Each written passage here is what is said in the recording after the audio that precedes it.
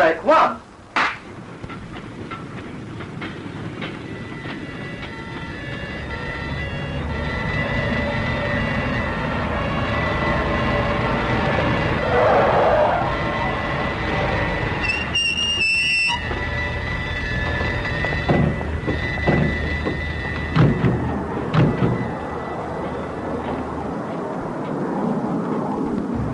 Captain, take that one.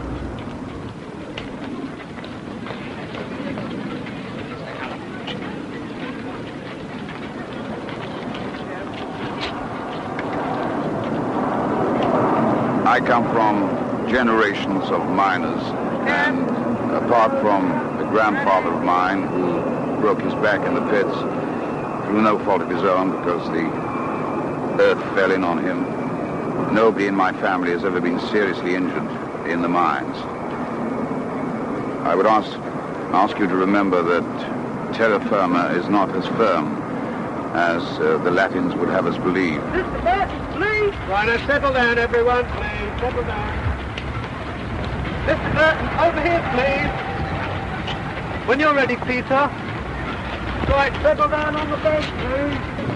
Officially, I was never a miner, though a great many people think I was, largely because of the um, overindulgence of the press.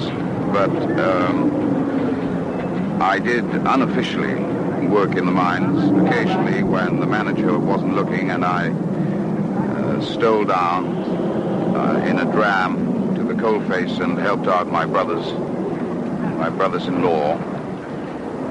Uh, but I do know, as a result of that, a little bit about the mines, and I do know how dangerous and terrible it can be.